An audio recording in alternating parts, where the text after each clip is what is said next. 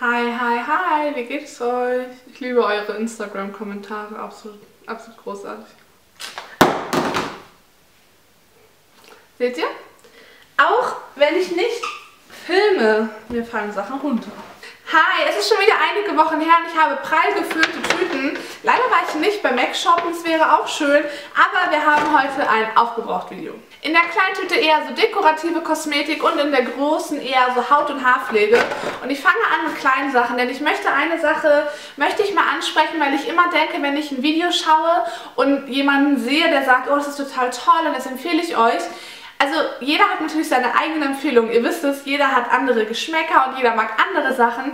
Nur bei diesem Produkt denke ich, wenn ihr das Original kennen würdet, dann würdet ihr das, glaube ich, tendenziell nicht sagen. Also es geht darum, um das Evelyn-Ei. Alleine schon vom Drücken her ist das ein meilenweiter Unterschied und dem originalen Beauty Blender. Ich habe die beiden einfach schon sehr, sehr lange und einfach schon zu Tode benutzt. Den Beauty Blender habe ich bestimmt 20 Mal nachgekauft. Ich habe ihn auch in mehrfacher Ausführung zu Hause. Das Ebelin-Ei hingegen habe ich nur einmal gekauft und würde es niemals wieder kaufen, weil es grauenvoll ist.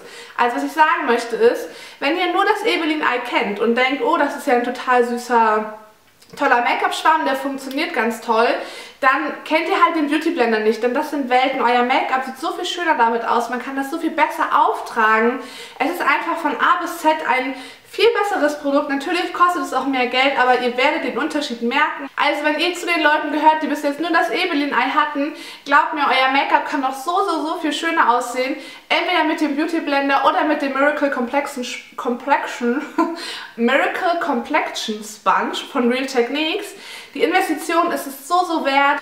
Kennt ihr das, wenn eure Wimpern zusammenkleben? Oh, unangenehmes Gefühl. Wenn ihr mich schon etwas länger schaut, dann wisst ihr, dass ich ein großer Fan von dem Elizabeth Arden Restoring Serum bin. Ich habe das mal in einem Set gekauft mit der normalen 8-Hour Cream. Ich konnte mich, und da habe ich auch schon drüber gesprochen, nicht überwinden, das komplette Serum zu kaufen, weil das irgendwie 80 Euro oder so kam und dieses Set mit der Creme nur 10 Euro. Deswegen habe ich das nochmal gekauft, denn für die Creme habe ich zigtausend Verwendungen und ich finde es nach wie vor großartig. Es ist eines der besten Serien, die ich jemals benutzt habe. Das ist so reichhaltig, ich benutze das abends, so eine Kapsel reicht nur für zwei Anwendungen und da sind schon ich glaube so 10, 12 Stück drin. Ich finde das super, super schön auf der Haut. Morgens habe ich das Gefühl, ist meine Haut perfekt versorgt. Ich probiere mal herauszufinden, ob es das bei Douglas noch online gibt in diesem Probierset. Dann verlinke ich euch das unten, weil ich es wirklich großartig finde. Und, ah, mh. Mm, ich habe das schon mal gehabt, dieses Gespräch. Dieses Selbstgespräch mit mir selbst und meinte, oh, gebe ich so viel Geld aus, aber das Serum ist phänomenal.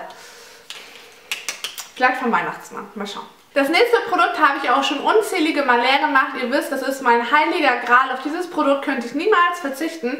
Ich benutze aber gerade quasi im Endeffekt das Äquivalent von Estee Lauder, die Daywear. Im Grunde sind die beide relativ gleich und zwar ist es eine getönte Feuchtigkeitspflege, aber anders als alle anderen, die ihr kennt. Nur mal so gesagt, ich habe da schon 10.000 Mal drüber gesprochen, das ist von Origins, die Weitersing oder das Weitersing Energizing Boosting Moisturizer. Das gibt eurem Teint einen anderen Level, einen anderen Level mein Deutsch ist auch wieder grandios, ein anderes Level an Schönheit. Ich habe da... Wow. Ich habe dazu schon mal ein Video gemacht, das verlinke ich euch unten. Wenn ihr es ein bisschen reichhaltiger wollt, würde ich euch die Daywear von Estee Lauder empfehlen, aber da müsst ihr schon wirklich sehr trockene Haut haben. Sonst ist das ein Produkt sondergleichen. Meine Mutter kauft es sich Mo... Mo Meine Mutter kauft sich das mittlerweile alle paar Monate nach. Sehr viele meiner Freundinnen, gerade wenn ihr nicht so ein großer Foundation-Fan seid, sondern wirklich nur ein bisschen euren Teint ausgleichen wollt oder vor eurer Foundation schon ein bisschen Arbeit erledigen wollt, grandios. Kommen wir mal zu Nagellack. Ich bekomme ganz oft die Frage, Jamina, bist du auch ein Nagellacksuchti? Hast du auch so 10.000 verschiedene?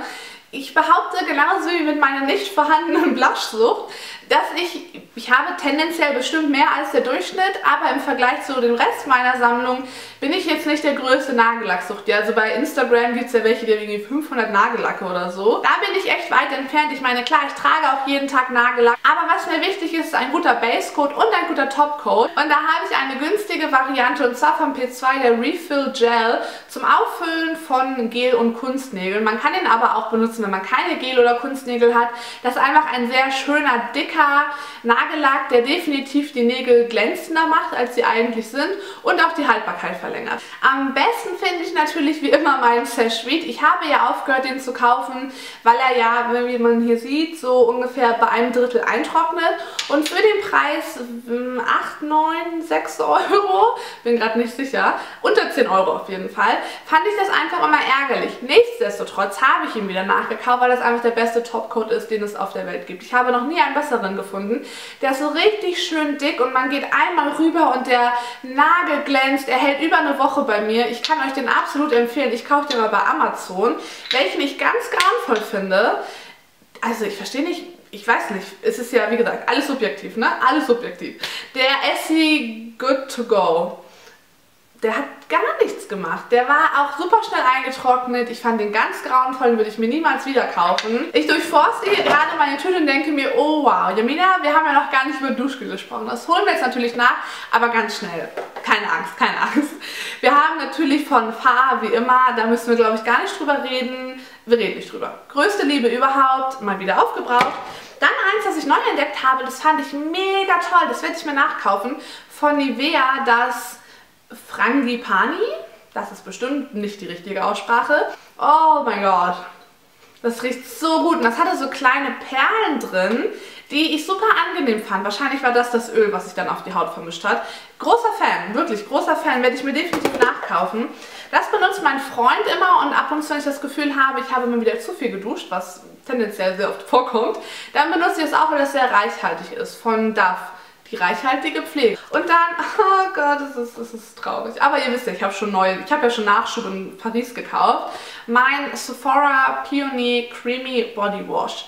Wenn ihr irgendwann mal bei Sephora seid oder irgendwen habt, der euch was mitbringen kann, ihr müsst nicht bei Sephora bestellen, das wäre übertrieben, aber, oh mein Gott, oh, das ist, das ist das Schönste, was ich je in meinem Leben gerochen habe. Wirklich wahr. Besser als es von Fahr. Also, wenn es einen Favoriten-Duschgel gebe, was so jeder kaufen könnte von euch, dann das. Reden wir mal über meine Haare, ihr, ihr wisst. Ihr wisst diese Situation, das ist jedes Mal ein Kampf und ich finde es immer so witzig, wenn ich dann schreibe, also ich meine das gar nicht negativ, aber ich schreibe ja dann immer bei Instagram oder erzähle in meinen Videos über meine Haare und dass sie so schnell gelb werden und so schnell warm und dass es ja alles eine Katastrophe ist und na, ihr kennt die Geschichte und dann schreiben immer alle, ja aber mega der Tipp, probier doch mal Silbershampoo.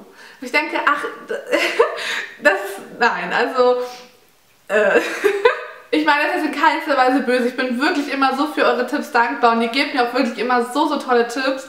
Aber das ist halt so eine Sache, das ist ja quasi das Erste, was jeder Friseur einem ins Gesicht schmeißt und sagt, Silbershampoo, Silbershampoo, Silbershampoo. Natürlich habe ich das auch getan.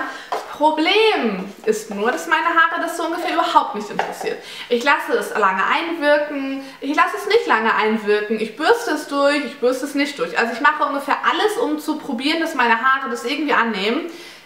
Fehlanzeigen. Also das erste, was ich da im Angebot habe, ist das von L'Oreal. Das kostet, glaube ich, ungefähr 20 Euro. Das ist das Gloss Protect System Silver Shampoo. Hat leider nicht funktioniert. Dann habe ich meine günstige Alternative probiert, das von Swiss Opar. Hat noch weniger funktioniert.